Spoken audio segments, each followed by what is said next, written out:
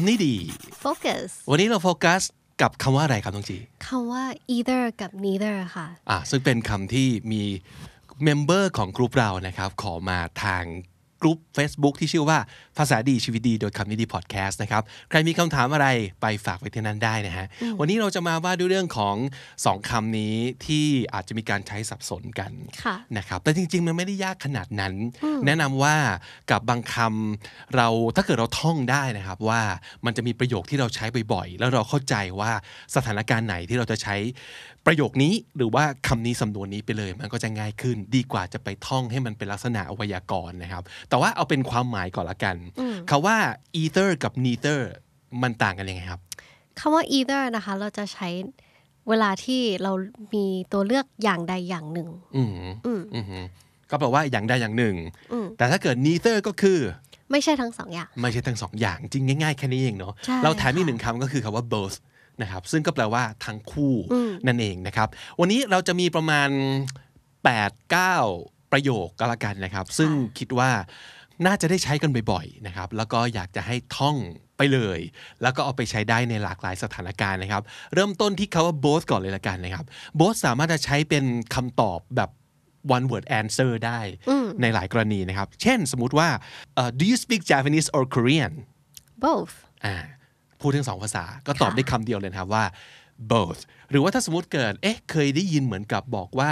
ไม่คุณพ่อก็คุณแม่นี่แหละ ที่ที่เป็นอาจารย์ ตกลงคนไหนนะ which one of your parents is a teacher both both of them ทั้งคู่นะครับ ก็ตอบได้ง่าย ๆ เลยว่า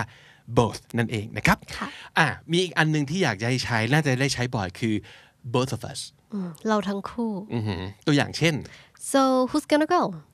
both both of us อืมก็คือไปทั้งคู่นั่นเองใช่ค่ะนะครับ หรือว่า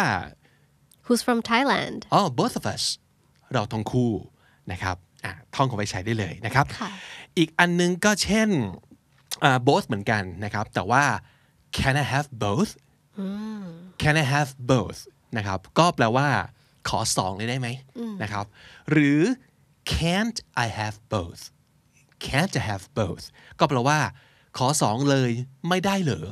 นะครับแล้วแต่สถานการณ์ แล้วแต่ความยากง่ายของตัวเลือก แล้วแต่ความสามารถของคุณในการอ้อนขอนะครับว่าขอสองเลยได้ไหมนะครับตัวอย่างเช่นสมมติง่ายๆเลย do you want a red one or a blue one can I have both or can't I have both สองเลยไม่ได้เหรอทำไมต้องให้เลือกด้วย can't I have both หรือว่า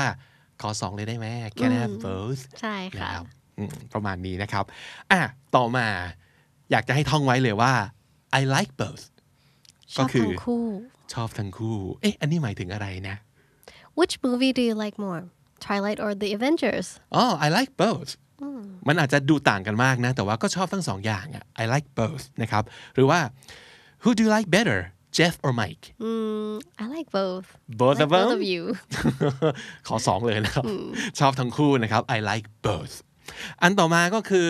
ตรงข้ามกับเมื่อกี้เลยครับ คือไม่ชอบทั้งคู่ ในกรณีนี้เราก็จะบอกว่า neither neither คือนี่ก็ไม่เอา นั่นก็ไม่เอานะครับ คือ I hate both neither I hate both นะครับ ตัวอย่างเช่น if you have to choose between swimming and walking which one would you choose uh, neither I hate both ว่ายน้ำก็ไม่ชอบ ให้เดินก็ไม่ชอบ ชอบอยู่เฉยๆนั่นเองนะครับ neither I hate both ไม่ชอบทั้งคู่นะครับ หรือว่า okay we have a rom-com and a horror which one do you want mm, neither I hate both of them อืมอาจจะเป็นลักษณะแบบเพื่อนมาบ้านแล้วก็เฮ้ยมีหนังอะไรดูบ้าง อ๋อมี rom-com อยู่เรื่องหนึ่ง romantic comedy แล้วก็หนังสยองขวัญอยู่เรื่องหนึ่ง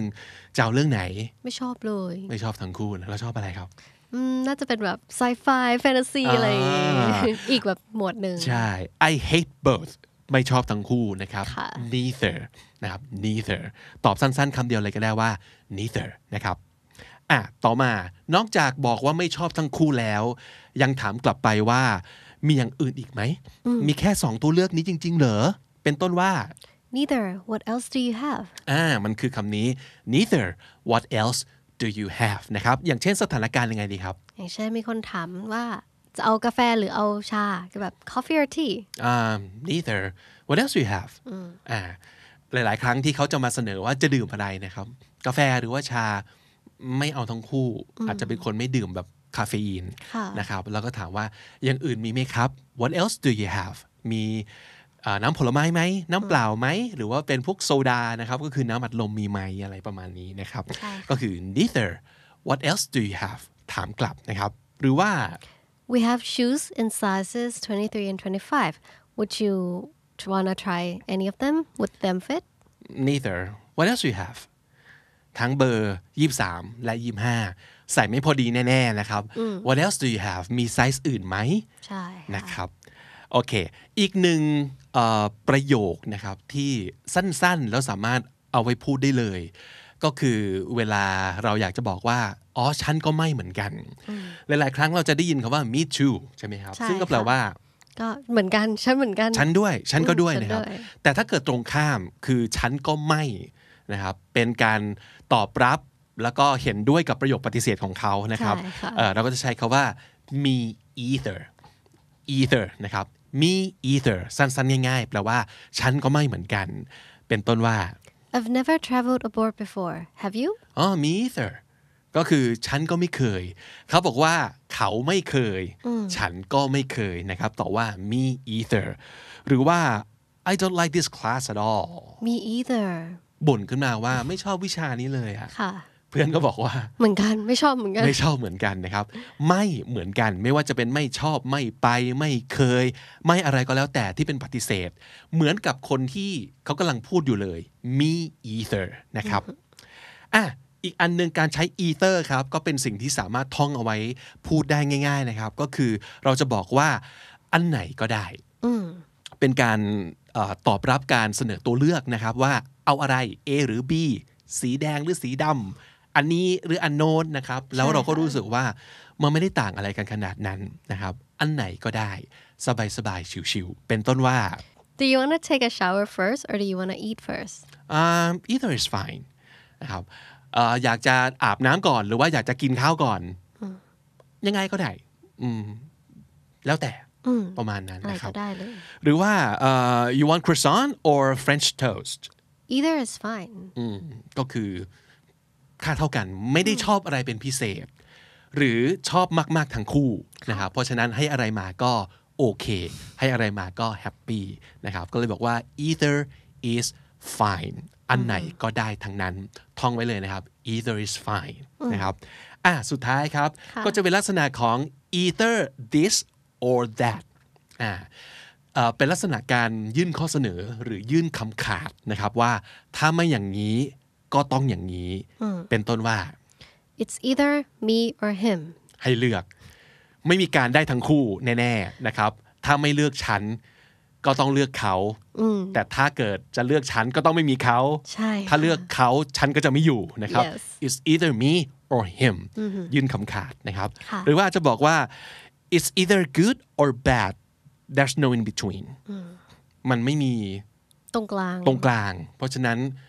ถ้าเกิดไม่ดีไปเลยก็แย่ไปเลยใช่นะครับค่ะหรือว่าอีกตัวอย่างหนึ่งก็คือ It's either help me or just get out of my way. คือถ้าเกิดจะไม่ช่วย ก็ถอยไปห่างๆอย่ามาเกะกะขวางทางค่ะนะครับ it's either จุดจุดจุด or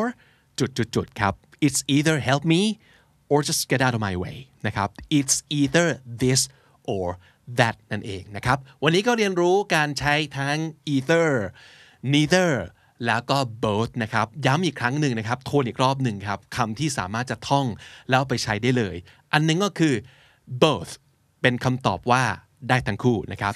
both อันที่สองก็คือ Both of us อืมแปลว่าก็คือเราทั้งคู่นะคะครับ อันที่สามคือ can I have both หรือว่า can't I have both คือขอสองเลยไม่ได้เหรอ หรือว่าขอสองเลยได้ไหม can I have both ขอสองได้ไหม can't I have both ขอสองเลยไม่ได้เหรอ ต่อมาก็คือ I like both ชอบทั้งคู่ค่ะ อืม ตรงข้ามครับ neither I hate both neither I hate both ไม่เอาทั้งสองอย่างเลย เกลียดทั้งคู่ อีกอันหนึ่งก็คือ neither what else do you have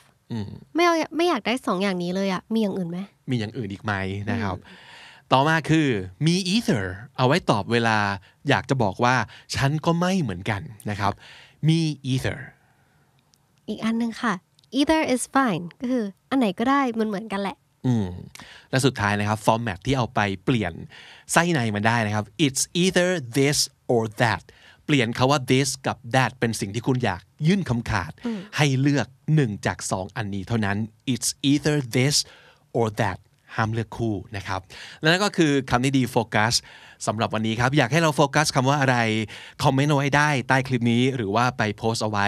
เป็นคำถามที่กรุ๊ปภาษาดีชีวิตดี โดยคำนี้ดีพอดแคสต์ได้เลยครับ